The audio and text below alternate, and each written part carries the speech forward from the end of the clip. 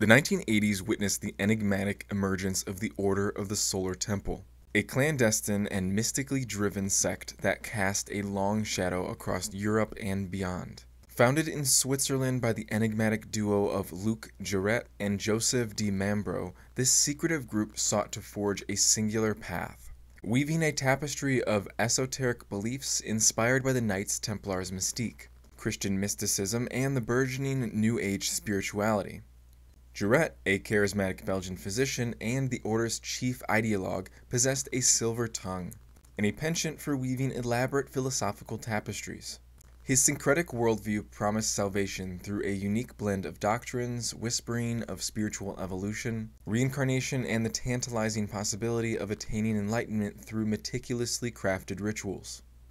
Di Mambro, a shrewd French financier, served as the group's financial cornerstone, his skillful maneuvering ensuring the order's coffers remained bountiful.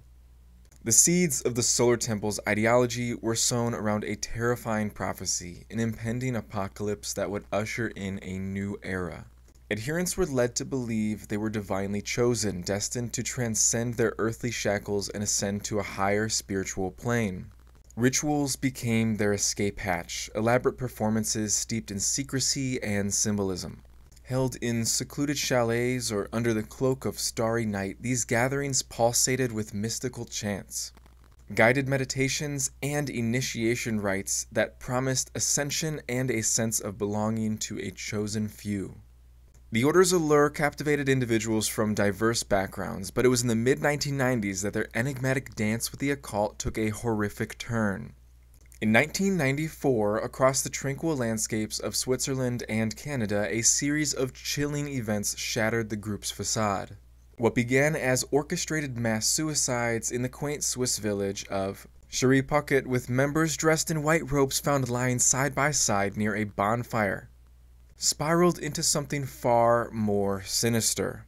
In Quebec, ritualistic killings preceded suicides, leaving a trail of bodies contorted in macabre poses, their faces frozen in expressions of misplaced serenity.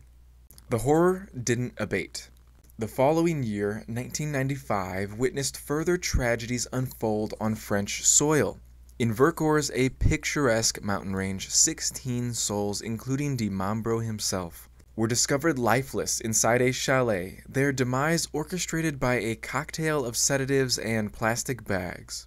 In the serene village of Salvan, Switzerland, five more lives were extinguished, another grim tableau of ritualistic death marking the scene. As the veil lifted on the Order's macabre activities, international investigations unearthed a web of deceit and manipulation. Financial irregularities reeking of embezzlement and coercion surfaced, alongside chilling tales of psychological pressure exerted on vulnerable members. The once secretive global network spanning from Canada to France and beyond was laid bare, its intricate organizational structure laid before the world to see. The Order of the Solar Temple's legacy remains a sobering cautionary tale. It stands as a chilling testament to the dangers posed by charismatic leaders who prey on human vulnerabilities and who orchestrate manipulation of devoted followers within the confines of fringe ideologies. The events of the mid 1990s continue to echo through the halls of academia, prompting ongoing discussions among scholars, psychologists, and sociologists about the seductive power of extremist beliefs and their potential to culminate in tragic outcomes.